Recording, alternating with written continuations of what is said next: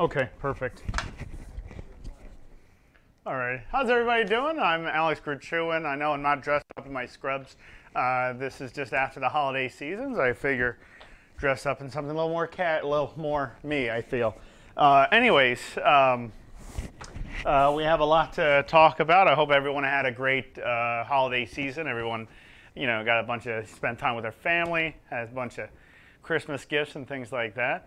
Um, mine was pretty decent. Mine was pretty decent. Very cold the, on the eastern uh, side, so it was a little cold, but not too bad. Anyways, uh, there's a few questions coming up about how to decrease uh, an increase of you know your work of breathing, how to basically decrease it, um, as well as also how to increase it. I know it sounds silly because everyone's like, I want to be able not to feel winded when I work out. That's actually there's something I need to bring up here First off, uh, when we look at work of breathing, I know it seems a little difficult, a little vague, maybe a little ambiguous, but I want you to just kind of hear me out. There is nothing wrong with somebody being a little winded when they work out. It's a completely normal thing. I, I think a lot of people think that if they, uh, they're thinking that if they get out of breath, they're, they're, they have a disease, like they have short of breath. Short of breath is not a disease. It's just something that happens when somebody's working out and they get a little winded. Now, being winded, there it's that's very difficult for me to understand. When somebody says, "Alex, I'm a little winded," it's like, what does that mean? You're a little winded. Can you continue? Yeah. So you're just letting me know you're winded? He said, Well, I think something bad's happening. How's your oxygen? It looks good. How's your heart rate? A little elevated, but still looks good. Can you say more words? So we, we have to understand the work of breathing is what I'm trying to get at.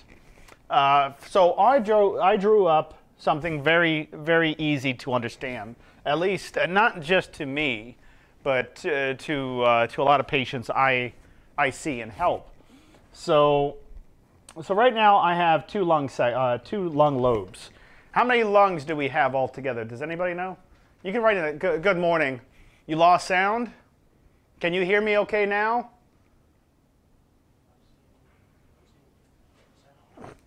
Test, test. I'm hearing sound on this side. Do you hear sound now? Okay, so so I drew up lungs. How many lungs do we have? A lot of people say we have two lungs. That's not correct. The question was how many lungs do you have, now how many lobes you have. You hear me now? Good, good, good, good. How many lobes do you have? Right? I didn't I didn't say how many lobes you have. I said how many lungs do you have? So you, if you want to give an answer, go ahead and write up an answer of how many lungs do we have? A lot of people say, I have two. It's like, no, you have two lung lobes, but that's not actually what I asked you. No, we don't have two lungs. We have two lung lobes, yes. So, right lung. You actually have five. Have five lung lobes. Five. Yes, very good, Gail. Five. You don't have one. You don't have one set. What do you mean you have one set? This isn't the Olympics. What are you talking about? Pamela, Connie, what does one set mean? You have one set of lungs? That's it? So uh, when, when the human body, the human species, the, or animals in general were created, you're only given one of everything? No, that's not it at all. So I drew up here lungs, okay? Now, I'm not going over the segments. I, I, just want you to understand. I want you to keep in the back of your head how many lungs do we have? We have five, okay? So we have five different segments. These lines that separate the lungs are called fissures. Okay, if I took a, if somebody did a lobectomy and they took one lung out, one part a partial lobectomy out, these will actually still function just fine. You know, these will still function. The only thing is now there's a void. There's a void where the lung used to be at, and that's obviously going to fill up in space. So how is that going to fill up? This by itself, this lung that now there's a void, is actually going to stretch itself out by itself. The lung will actually do that itself. Yep. We see that all the time now. Worst case scenario, let's say you took a whole, a doctor had to take, a surgeon had to take a whole entire lung lobe out. And the heart that stay, stays mediastinal in the center. Okay. now, if I took the whole entire lung out, what would happen to this lung? That's going to triple in size.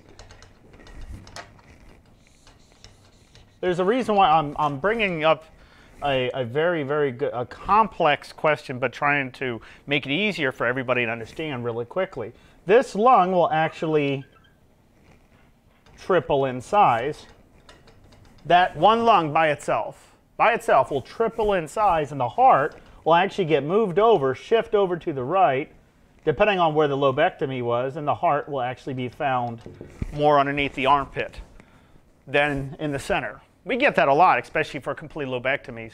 Uh, the, the body can't live with a small volume. Your body by itself is, it knows this. It understands this. It understands that it can't live with a small volume. Okay, it's not made for that. Like, for instance, if I breathe really shallow right now, has anybody ever heard of the death space, uh, the dead space factor? So when air, let's say oxygen comes in, let's say oxygen comes in, and oxygen comes into your trachea, your, your windpipe, okay? Does oxygen get deposited in the blood at that point? No, of course not. That's not, that's not your alveolar capillary membranes. It has to reach all the way into the lungs to the alveolar capillary membranes in order for oxygen to get transported past the semi-impermeable membrane for that oxygen to be put into the blood. And then on exhale, the CO2 would get pulled out. Okay? So if this whole lung right here, so this, this one lung will actually triple in size. The body can't live with a small volume. If I breathe really shallow, let's say I'm doing this. I'm breathing really shallow. Is that the same as me breathing in deeper? No, of course not. Me breathing shallow might not, act, there's uh, on dead space, dead space, that means like the airway itself that doesn't make it not necessarily into the lungs, even the bronchioles aren't uh, for gas exchange. It has to be met at the alveolar capillary space. So I'm just writing up a macroscopic view or a, a microscopic view. So if I pull the, uh, the lung parenchyma and opened it up and just took a look at the alveoli under the microscope, I would see this would be the airway. These are the, this is the alveolar sac. So air has to transport into there. Oxygen gets passed through the semi-impermeable membrane, deposited into the blood. Now at what depth? Meaning how deep am I supposed to breathe in order for oxygen to come in and CO2 to come out? If I breathe like this, that might not be enough. That might not be enough at all. That might actually be completely horrible, where I am breathing so shallow that it, will be enough for a squirrel to live, but it wouldn't be enough for a human being to live. The dead space in somebody's airways, that's the nasal pharynx, the nasal pharynx, oral pharynx, down the trachea, bifurcates to left and right hemispheres of your lung lobes, okay, and then goes all the way up to the alveoli. That's all, that's all called dead space. If I breathe in 250 milliliters, I'm only filling up the dead space. Okay, meaning if I breathe very shallow, oxygen didn't even get deep enough in order for it to go into my blood because I breathe too shallow. And then I see a lot of people like that. I see a lot of people asking, why am I getting so out of breath so quickly? Well, how deep are you breathing? Very good, halfway, I love it. So how deep are that, is that person breathing? Is the person breathing deep enough? Maybe, they might not be breathing it deep enough. Okay, if they're breathing really shallow, of course they're gonna, their heart rate's gonna spike, their oxygen's go down. Look, it's not rocket science. If your body needs a gallon of air and you're only giving it a teaspoon of air, your oxygen is gonna, you know, you're only inflating your lungs a little bit, you're not gonna be pulling enough oxygen in, meaning your oxygen level is gonna go down when you start working out, when you start getting up and going. When you exhale, you're only getting rid of a little bit of CO2. You're not getting rid of a lot of CO2. You're only getting rid of a little bit of CO2. Okay, so if somebody breathes no sound at all again, can you uh, enable your, uh, just turn up your, um, your volume a little bit, please? Okay, because people are hearing me, but you're it just says Facebook user, but there's no name. Can you say your name so we can at least acknowledge making sure that you're okay with your sound? Anyways, so air coming in, okay. At what depth is air coming in? At what depth? We halfway. Remember? Okay, so we have to fill up our lungs. Do we fill? So when we breathe in, how, what's the deepest should we be able to breathe in? How do we know what our deepest breath is? So it's a calculation. The calculation is very simple. It's 65 milliliters per kilogram of ideal body weight. If you feel, let's say you feel that, oh, this is a lot of calculations, I can't do this. Well, that's why you don't have personal trainers doing this.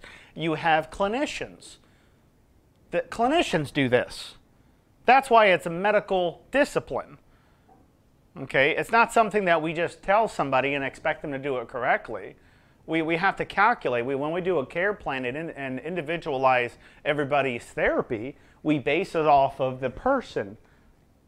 Okay, like you have a patient that comes in, okay, that wants to see me, and that person, let's say, has uh, COPD, and specifically they have emphysema and chronic bronchitis, and you have another person, let's pretend, same age, same weight, same height, and still and also has the same diagnosis of COPD that is specifically because remember COPD is an umbrella term. There's five types of COPDs.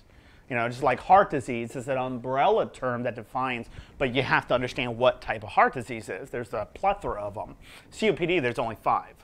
So you have two people, same height, same sex, same uh, everything, same weight, everything, and even the diseases are the same. But their symptoms will be completely non-identical. They, they won't be the same. Okay? You can't, you know, in therapy, when we do therapy, we have to structure our care plans because it has to be individualized. We have to structure our therapy based off of the person and the doctor's recommend, recommendation on their exercise prescription. So we have to follow those guidelines. Okay, so if a doctor, let's say Dr. Shaw wrote, all right, uh, bronchial hygiene, six minute walk test, pulmonary function test, uh, pre and post with um, uh, respiratory intercostal uh, diaphragmatic muscle strengthening with leg exercises and contraindications to shoulders uh, because somebody has a bad shoulder rotation, you know. So we base the therapies off of the person. We don't just throw up a thousand therapies up on a board and expect people to do them. That's that's not how this works, everybody. This is a this you're talking about a certified program. Okay, this is a program, HRN. It's a program that does the, you know, the, does the rehabilitation itself. Now, what does rehabilitation mean? So rehabilitation doesn't mean cure. Rehabilitation means uh, if your goal is to come off oxygen, as long as that's realistic, you're going to come off oxygen. You know, there's no, I hope so. You know, there's no such thing. It's either we do it or we don't. So you have, uh, you have somebody that uh, can only walk, let's say, 50 feet, and they want to be able to walk a thousand feet. That's very, very realistic. Um, it will take, you know, and let, us also say somebody wants to have an increase in lung functions. Somebody wants to have uh, to be able to do to uh, make dinner for their spouse and go out, walk in the park, anything like that. That's that's realistic. You know, the new year is about to start, of course, right? 2023. Well, there's a couple things to really under, uh, look at here. Is you know, a lot of people are telling me that, oh, I feel like I'm in, you know, uh, people on Facebook, people on YouTube, people on Twitter, uh, and especially Instagram. Um, people ask me, Alex, I'm at the worst case scenario. Uh, my doctor only gave me a few weeks to live. And I'm like, if you're feeling like you're in hell already, why would you stay in it? Why, why would you stay in it? You feel you, it's, you're in the worst, you're in the bottom, you're in the ground bottom of situations. Like you're in a hole why would you stay in it? Why? I mean, that to me that makes no sense to me. Like, why would you want to stay in that? You don't have to stay in something like that. get yourself out of it, right? That's that's what we're trying to do. But you know, when when we look at rehabilitation, we're looking at the person structured as a whole, as as a person, not as a number, of course. In the pulmonary rehab program, if you're not understanding what this is, 65 milliliters per kilogram ideal body weight. Let's do the math in our head. Okay, really quick. Let's just do it in our head. Let's say, all right. So I'm six foot tall. Um, so let's see, if I was 105, 5.2.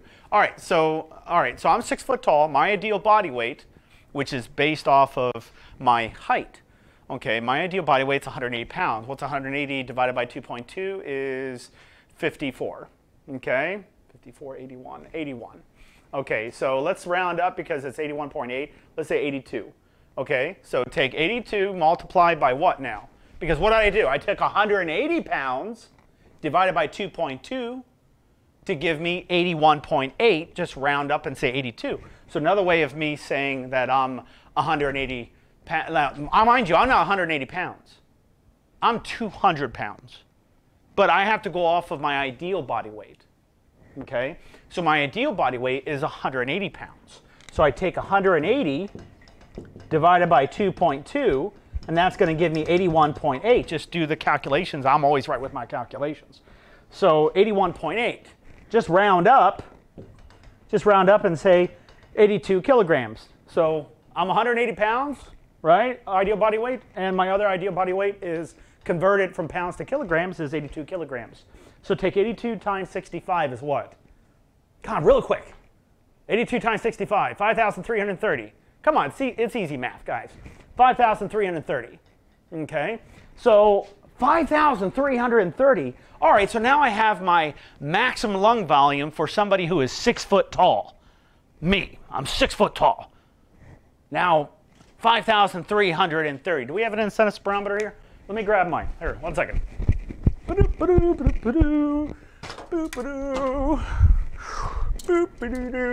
Yes, I am singing in the rain. Okay.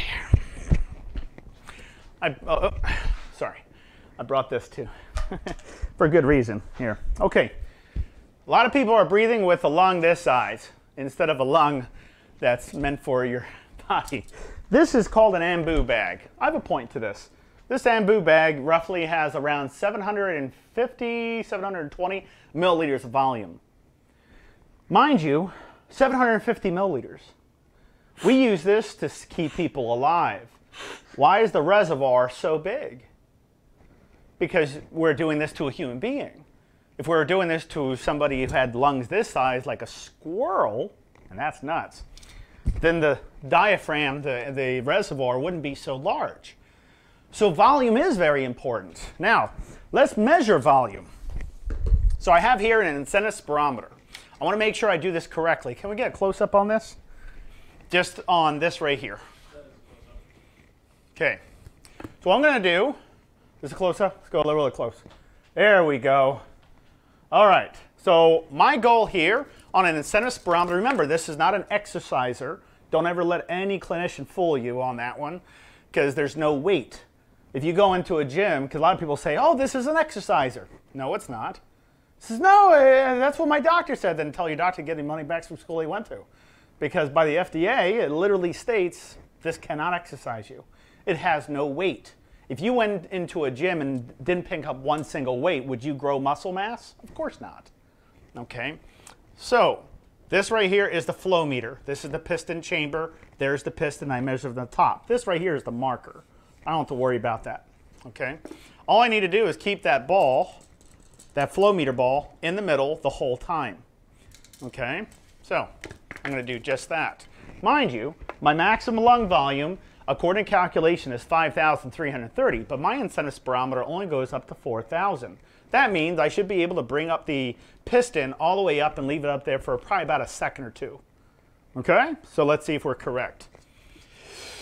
So I take a deep breath in, I'm gonna exhale all the way out. I'm gonna keep talking until I can't talk anymore, and I'm just gonna keep going, going, one, two, three, four, five, six, seven,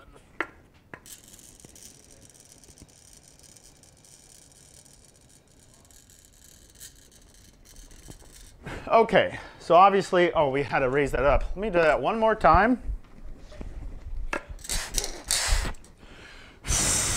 So I do a Shikani technique. There was this doctor that worked on President Reagan. His, his name is Dr. Shikani. And um, he actually taught me the Shikani technique. That's what I call it.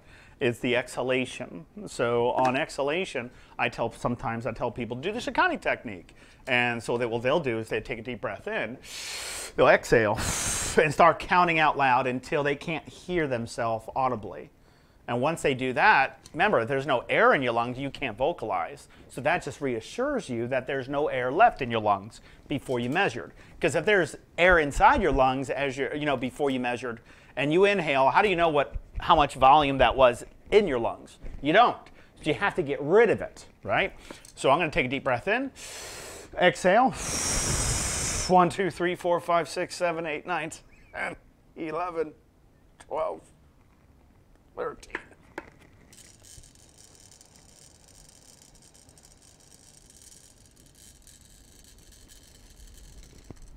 So I can leave it up there to the 4,000 for about that time. So roughly I'm maxed out on my lung volumes. So I'm good, okay?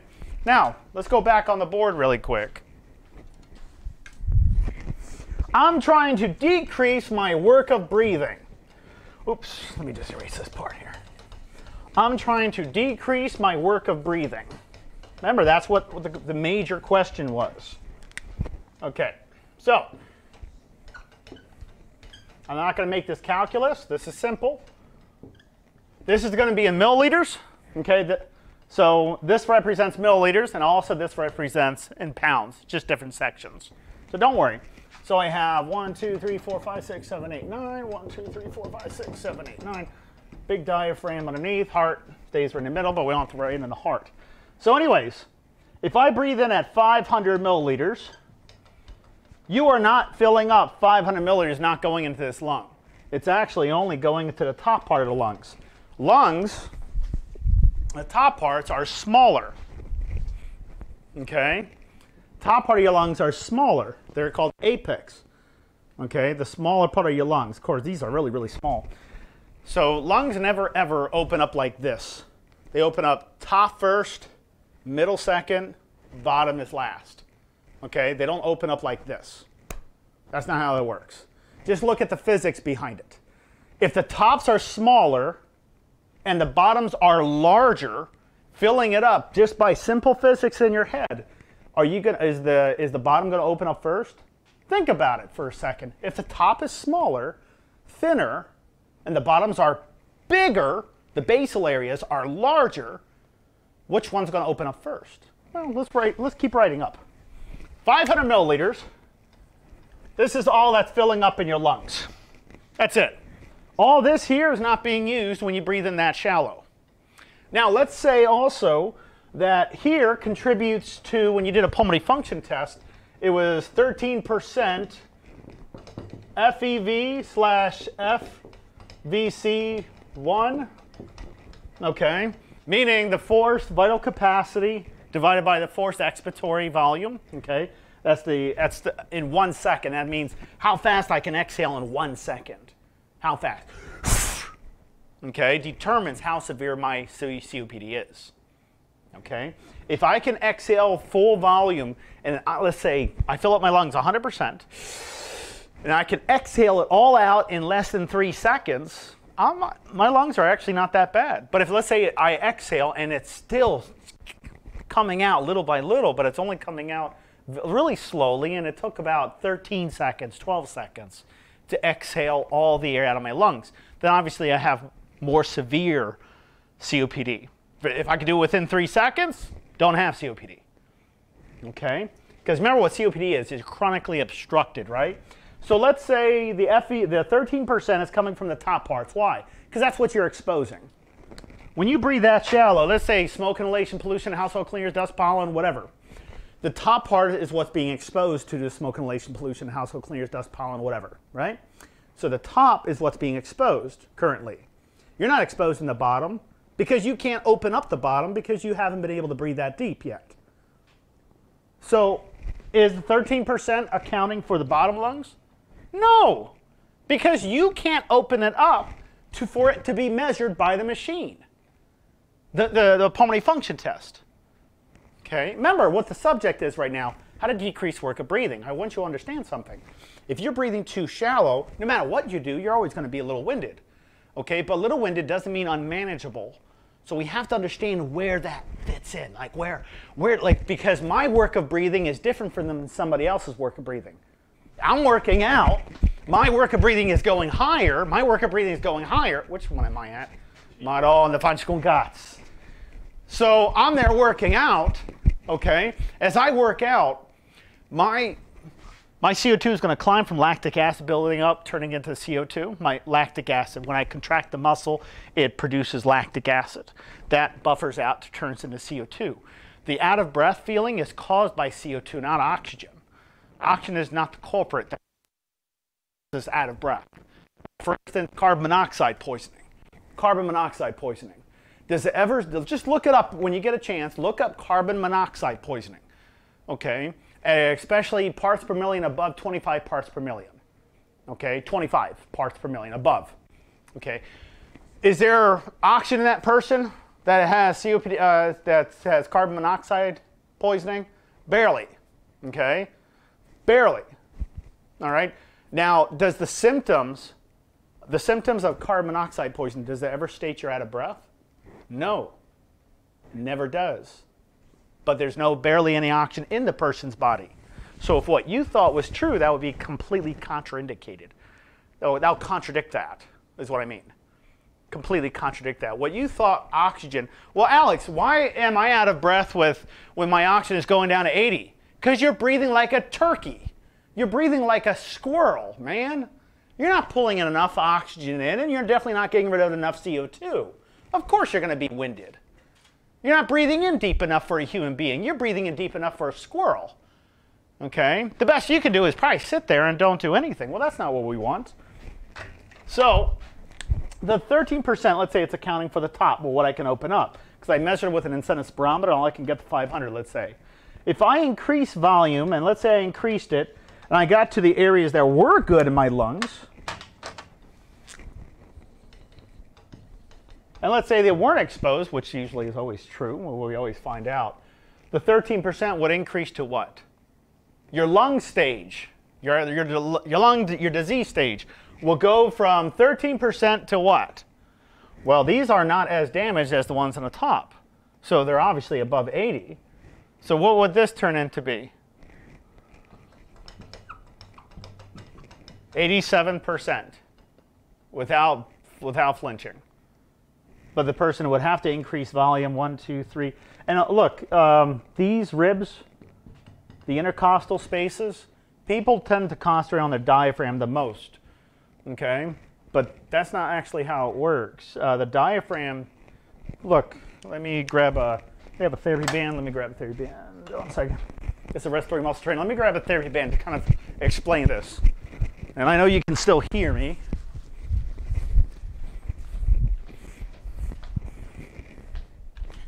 Okay.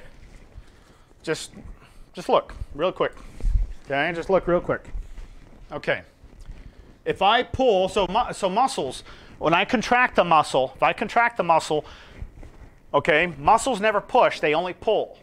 So I have one muscle to pull a forearm, I have a bicep to pull it, I have another muscle, the tricep, to pull it back. Okay? So inside in your ribs, between your ribs, ever eat ribs? Those muscles, those are for respiratory. That's a respiratory muscle. Okay? So if I inhale, let's say I exercise only my diaphragm and I don't work out the intercostals. This is why this never worked in rehabilitation centers. This is not my theory, this is a proven thing. Okay, you just I remember I can't bring up fabrications, I can't do things like that. I'm a licensed clinician under the Maryland Board of Physicians. I have to be, because I expect you guys to do your own research, okay, after the show, right, after this. So muscles pull. If I worked out the diaphragm, okay, is this getting bigger? It's getting longer, sure, but is it getting, is it widening up? No. Diaphragm pulls. The lung actually thinned out when it pulls in this direction.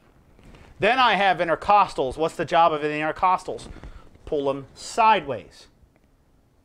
Okay, if I work both muscle groups at the same time, diaphragm and intercostal, I get the largest surface area possible stretching out my lungs the way it's supposed to be to get air inside, right?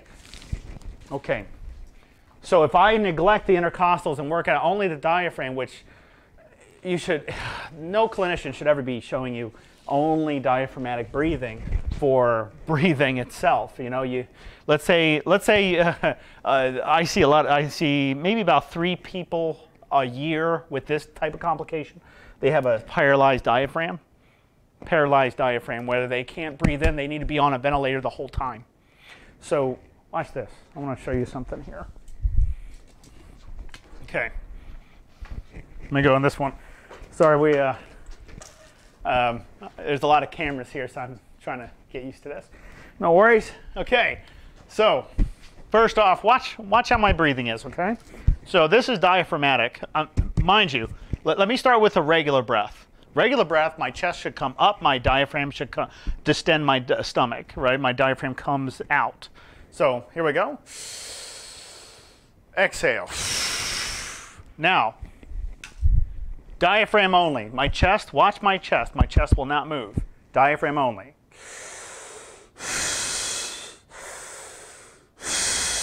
Diaphragmatic muscle breathing only. Chest only, okay? Those are intercostals only. Diaphragm, watch. My diaphragm will not move.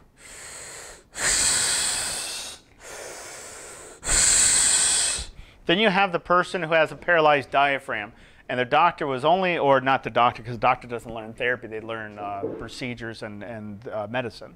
So doc, for those that don't know, doctors don't go to medical school to learn physical therapy and, and stuff like that. They go to school to learn procedures and, and uh, you know, what, I hope you understand. Uh, you don't ask the doctor to do therapy, you know, unless it's a psychologist, psychiatrist, you know, that's different. So anyways, and this is a physical type of therapy. So let's say the person that came in uh, had a paralyzed diaphragm. They had their physical therapist only work, even the physical therapist. Let's say it was a respiratory therapist. Um, a respiratory therapist working only the diaphragm, diaphragmatic muscles out. Now the person, uh, you know, God forbid, but let's say it happened. Person got into a little bit of an accident, fell or did something where the diaphragm is now paralyzed. Now the person is, there's no point but to, you know, just start digging a grave and that's it. Okay, uh, so I see about three people like this per year, three people. So it's not very, very common, okay? Um, so when they come into this program, I will tell them, don't worry about your diaphragm. It's paralyzed, it's no good anymore. What I'm going to have the person do now is work intercostal and back intercostal muscles out. Watch this. You probably would have to pan over to me to see all this. I'm going to sit in a chair. Okay. All right. Now I'm going to paralyze my diaphragm by leaning all the way over, making sure that my diaphragm cannot, cannot expand, okay? Because it's kind of hard to breathe like this, right? No, that's only for people that are untrained. So if I did this and worked out my back intercostal muscles and I did something like this, watch my volume. My piston is going to go up. So a lot of doctors would think that paralyzed diaphragm, you cannot inhale anymore. You can't breathe in anymore, right? So that's not true. If I did something like this,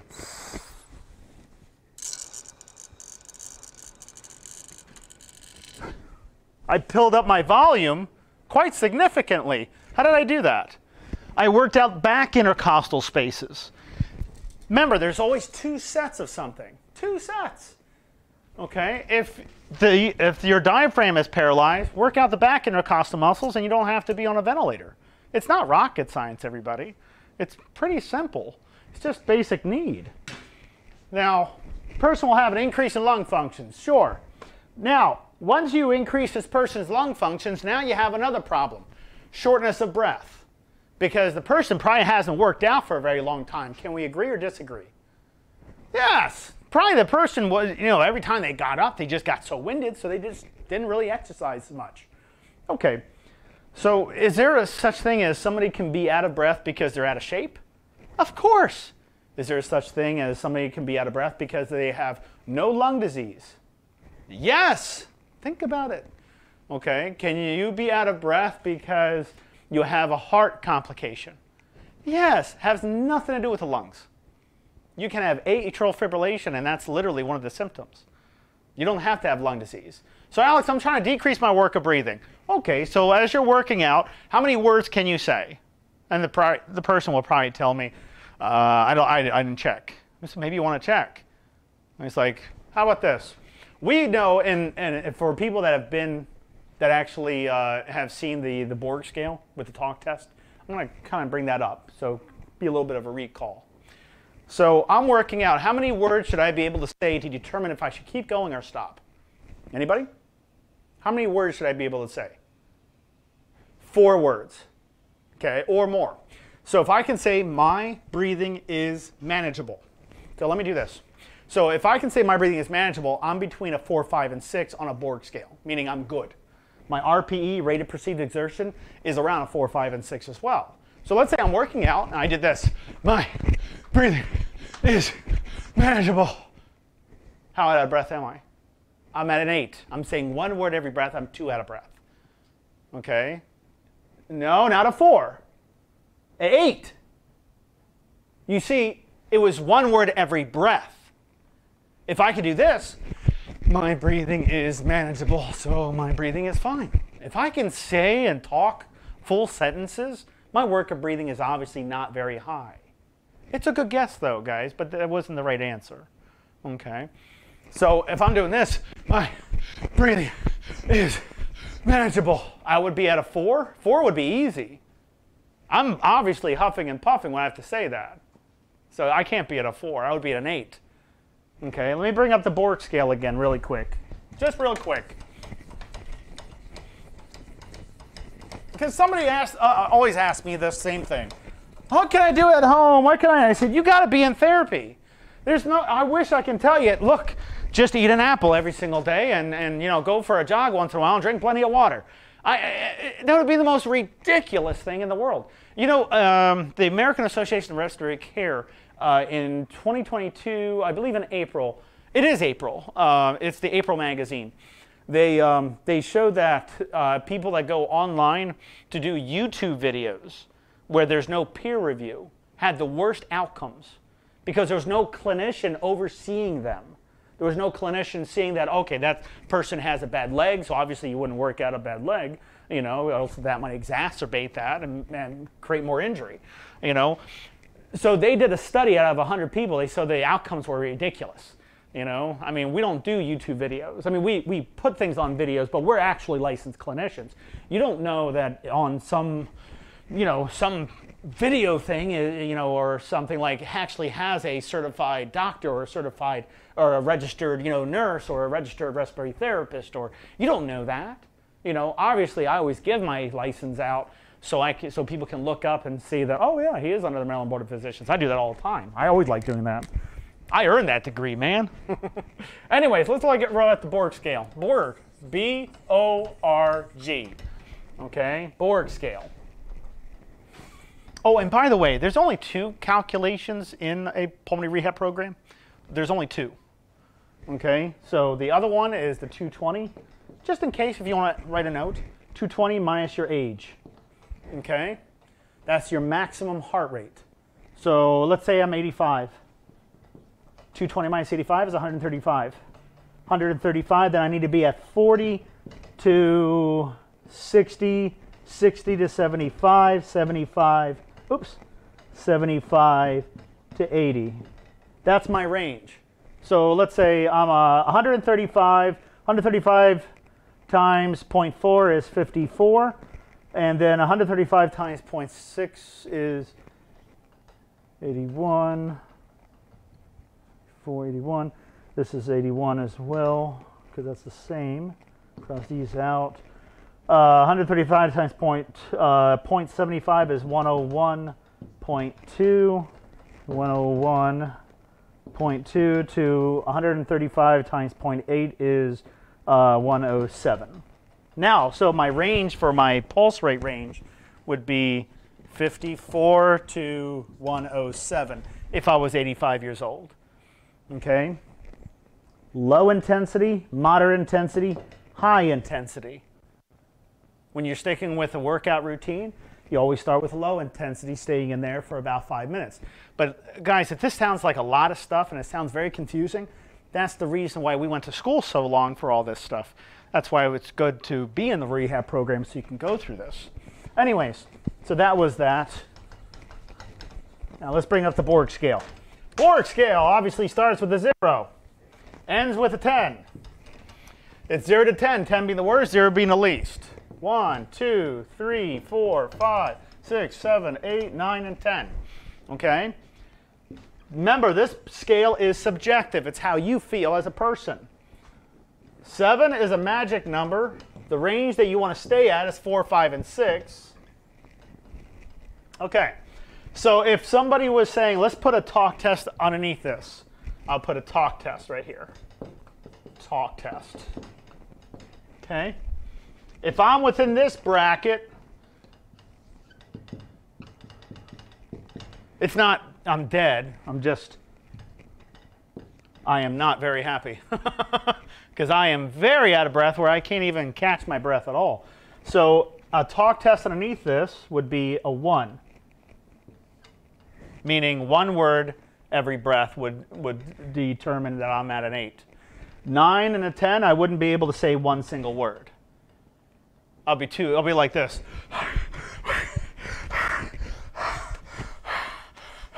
And I can't even talk. Okay? That means you're way too out of breath. Seven, two words every breath. My breathing is, it's gonna be there. I'm a, that's a seven two out of breath. Okay, six, three words every breath.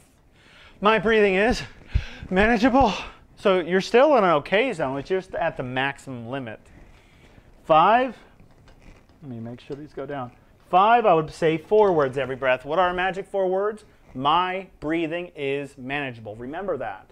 If you can say that, you're good. You should keep going. Four, five words, and of course the numbers keep increasing. So let's put this to a test really quick. I'm working on saying my breathing is manageable. Where do I fall at on a Borg scale? Eight, because I'm saying one word every breath. Now let's say this. My breathing is, let's say I'm working out, I'm doing this. My breathing is manageable, so my breathing is okay. Now where do I fall at on a Borg scale? Come on guys, give me an answer. Come on, let's put those thinking hats on. It's right there. Come on, you can do it. I believe in you, man. All right. So, such a clinician. I speak so well, don't I? No, uh, I am a clinician. I just, I don't like to talk a lot of medical jargon for people that don't understand me very much. So, anyways, um, I said my breathing is manageable, so my breathing is okay. So actually, I wouldn't even fall in here.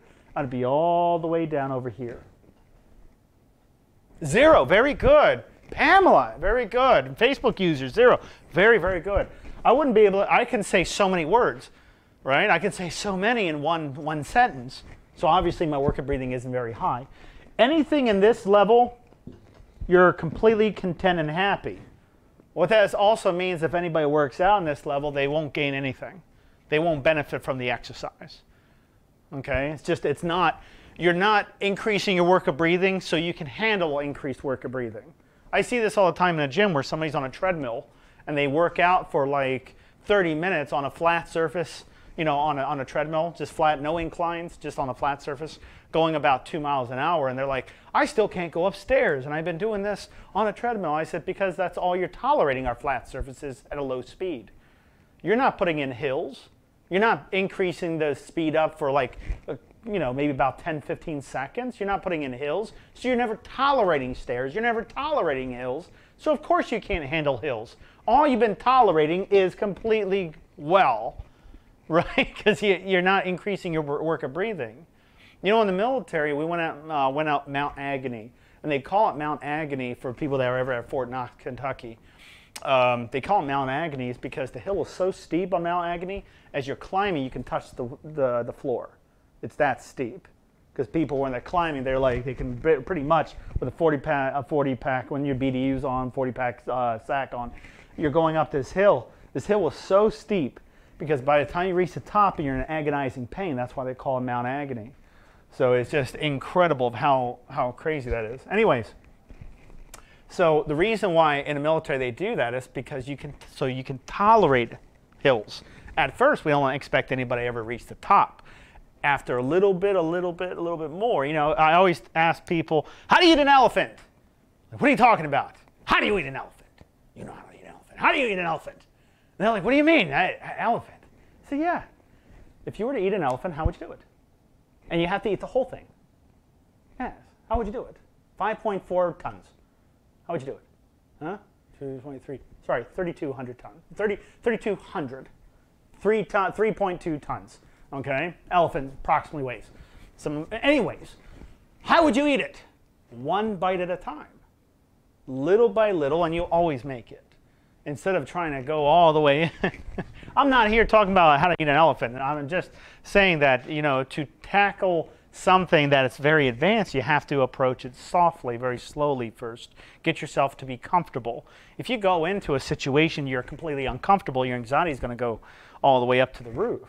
So, anyways, four, five, and six is where I want to stay at when I work out. I never want to be at this level here. Okay? All right. So, eight, nine, and 10 is something I don't ever want to be. This number seven is a number telling you to slow down or stop. Four, five, and six is the workout zones you should always be at. Now, if we were to plug in those numbers before, like the uh, 40 to 60, 60 to 75, 75 to 80, this would actually be in here. And that's how we do a strategic workout routine for somebody. A 4 would be 40 to 60% of their maximum heart rate. This would be 60 to 75%, and this would be 75 to 80% of the person's maximum heart rate. Okay, remember, it's based off of your age. Uh, volumes are based off of your height. Okay, let's see if there's any other questions here. And if you haven't, oh, see, I was answering the question, but how many words should you be able to say? Oh, I got you, no worries. Kathy, go off the chat and come back in. All right, no, no worries. All right, there's a question here. Is 88% bad for your oxygen? Well, in exercise, it's common for oxygen to go down. We don't like large fluctuations, but it does happen where somebody's oxygen levels go down a little bit, down to 88, it's not going to kill you. Okay, but think about it. Where's the pulse ox located? It's on your finger. You're not measuring what you brought into the body, so you're at the very end of line of sight. You still have 88% of oxygen in the blood the body could consume, but it's not going to because it already has its plenty, plentiful share. So you don't have to worry about that. Uh, so 80%, 88% is not bad. 80% still, that's some people's normals. You can live 100 plus years at 80%. I don't know what they're feeding or telling you in some of these facilities, but they shouldn't be giving you bad information, especially, and don't go on Wikipedia. You don't go on Wikipedia, okay? Don't go on Wikipedia for facts. Come on, we gotta be smart. Gotta be smart. Where are our three major reference points? Our references. When we want to know facts, where do we go? Come on, everybody. Look, you see these wonderful water bottles? Look at this. It's a weight that we're giving to patients. It's a water bottle. It weighs about five pounds. And then you can just decrease the weight by taking some of the water out. We give these to patients. I will give one out for free to any of you guys right now. Be a little smarter. Where do we find our facts? Come on, give me one. I'll give you 10 seconds. 10, 9, 8, 7, 6, 5. Guys, it's free. Come on, there's all of them for you. 2, 1. All right, I'm going to repeat the question one more time to give you another 10 seconds. Okay? Where do I find my facts from? No! Where do I find my facts from? No! Where do I find facts from? Come on, guys. Here. Come on. Kathleen, you're so close. Come on, I'm giving you plenty of time. Come on, free water bottle. It weighs five pounds, plus you can drink it and hydrate yourself. How do you decrease? Yeah, come on now. Where do I? No, uh, Pamela, you know. I love that you find the facts from me, but it's not where you get the facts. I, I have to mention the facts. I have to talk about the facts. I, I don't make up the facts myself. So wh which resource do I go to, guys? FDA is not a bad one, but that's not that's Food and Drug Administration. I need something for clinical. Come on, I'll give you a little bit more time. A free water bottle, and it's awesome. It's a weight You can lift and do some deltoids. Everything. Come on, don't you want one? Come on, show me. A doctor? A doctor used the same. No, no, doctor's not the. No. All right, I have to give you the answer. Um, so there's a lot of resources. You could have picked any one of those resources. No, you don't find the facts from your lung doctor. Um, you have to go off of what your doctor reads to notify to see facts. Okay, so that's the American Association of Respiratory Care, American Chest Physician Guidelines, American Thoracic Society. You can even went with the American Lung Association. Google Pamela. Get rid of that. Google. You might as well just put uh, uh, uh, uh what's the uh, what's the horrible one? Go yeah, Google. Yeah, that's the worst one. Why would you pick Google? Don't pick Google, Pamela. What is that? That was a joke, right? You're kidding, right? Come on. That was a joke. Right? Okay, I, I really hope so. Don't ever use Google. No, you're going to risk your life on how to do tracheostomy and you're going to type it on Google.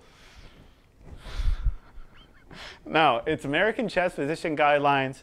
No, you know, you don't do that, Pamela. In that case, you let me know, and then I'll let you know the fact by looking it up on the right resources. Okay, no worries. My facts, I can't make up facts. I have to base facts off of their original, you know, from the clinical guidelines. So uh, American Association of Cardiovascular Pulmonary Rehabilitation, that's the AACVPR. That's one. American Heart Association. So any association that are usually a 501c3, they're a nonprofit organization, they're the ones that do in IRBs, invest, investigative review boards. So they go through something, they go, they take a fact that they think is a fact and they submit it to an IRB. That IRB study will actually determine from peer review if that is a fact or not and they'll take a hundred variations of this and dissect that question to be determined if it is fact or not. Then clinicians like me will go on to those resources to obtain those facts that have been peer reviewed to decipher the best outcome or best types of therapies for our patients. Okay? But no worries. Pamela, I love you for that. Google, that was awesome. I love it. But that is not right, guys. Don't go Google. And what if your doctor was wrong?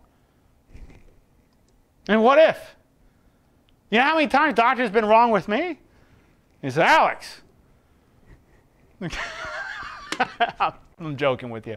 Can running your furnace in the very good question. I, I actually want to I want to hear this question here. I want to read this question. All right, the question is, can you can running your furnace in the winter furnace in the winter time dry out your lungs and make it harder to breathe?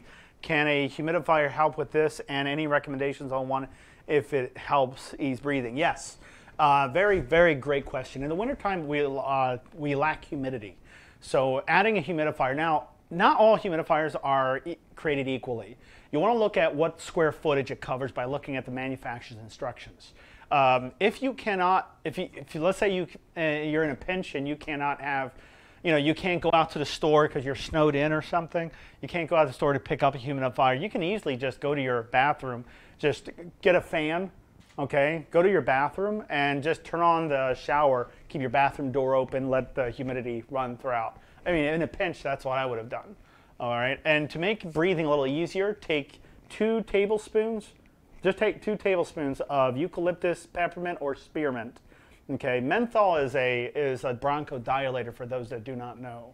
So if I take uh, peppermint, eucalyptus, any one of those, peppermint, spearmint, eucalyptus, any one of those, and actually put it into the water and let it mix in a little bit, and then humidify that, it makes the vapors a lot easier to breathe, especially if you're trying to take a shower and it's hard to breathe in that humidity. Take two tablespoons of that and just put in a shower pan on your floor you can easily breathe a lot easier because now the eucalyptus or the peppermint or the spearmint is actually opening up your airways, making it easier to breathe when it's hard to take a shower. Okay, so humidity is very important. Uh, any recommendations? Anything with a piezoelectric uh, humidifier, piezoelectric, it uses uh, ultrasound. It's very high frequency vibrations. So piezoelectrics are pretty good. Pass over a heated humidifiers they're fine. You know, there's pros and cons. Um, I usually would always recommend a piezoelectric type of humidifier. That's the one that is not heated. they're not heated because some people with oxygen, heat and oxygen don't like each other very well, especially fire. You know, fire doesn't like oxygen. no, I mean no, like fire doesn't. Oxygen loves fire. Fire doesn't like oxygen. Okay, and they they they fight and battle each other. Meaning, as soon as they tie into one another, it blows up. so they, they don't like each other like that. Anyways, um, great question. I hope I answered it uh, properly with everything. Do I have any more time? I got three minutes. Three minutes. Anybody have questions? Go ahead. Let me see. Can you reverse COPD? Guys, I can't cure COPD. That is literally a question written up. Can you reverse? A lot of people think I do that. I don't cure it. I do fix it, but I don't cure it. There's a difference. I'm not, there's nothing I'm doing that's curing. I'm just opening up the areas that haven't been opened up making them more dominant on your breathing, coaching you to stop to breathe shallow and breathing in deeper. And then, of course, exercising you properly. Um, that's what I do over here. And that's what we all do over here, you know. So I don't cure COPD, but just because you go from end stage back up to normal, don't think I'm curing it. I'm not curing anything. There is no cure. Uh, how to stay calm during an uh, attack of asthma and emphysema flares? That's a great question. We got to make this question for next time, because that's a long answer on that question. What does your shirt say? Oh, bruised, never broken. Um, you know, since I have a little bit of time, I was people were asking me if I was ever thankful for anything. I said, well, growing up, uh, you know, in Maryland, um, you know, my family didn't have a lot of money at all, and um, so going through college, I lived in my car, going through college, and you know, I don't care what anybody thinks about that. Besides, I loved it because I knew that I could do it. You know, I knew there were some nights I probably wouldn't have woken up the next morning because in Ogden, Utah, it gets down to negative 13 degrees. I, I still handled it. I went out of my car, went for a jog, keep my body temperature up. That's what I did. Uh, so my point is this: is that um, never broken. Is like I think all of us have an amazing story. You know, it's not just me that has this amazing story. I think everybody has their amazing story my story, in a sense, is that I went through, I bru- bruised up. I mean, you're talking about from, you know, from uh, fighting to doing all. Uh, for those that don't know, I used to be a fighter. You know, not, I wouldn't say like in a professional basis, but um, I used to fight in the ring. You know, so I did that. I did, uh, you know, um, you know, I've won all these awards in pulmonary rehabilitation. You know, and but to get to that point, I mean, I was bleeding left and right. I was I was being bruised up like left and right, not just from the fighting, from eh, the life of battle, the battle of life. That type of battle as I'm talking about. So a bruise never broken, and yeah, this is. So it just it makes me feel good. That's why I bought this shirt. You know, it makes me feel that's that's who I am, man. You know. I always, I, you know, people say, "Why are you so positive, Alex?" I said, "Well, that's my blood type. Be positive." It's like literally my blood type. And I said, that's funny because I'm always positive. he said, you're such a positive guy. That's what makes you that way. My blood, you know. But yeah, bruised, never broken. Anyways, guys, um, uh, guys, that's it for uh, for everything. You're very awesome. No, no, no. Thank you very much.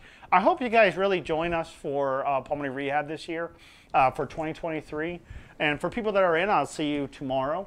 But um, uh, if you're trying to get in the program, just try to get in the program. You'll see what we're talking about. You know, obviously with all these people mentioning, you know, we haven't really had anybody that did horrible in our program at all.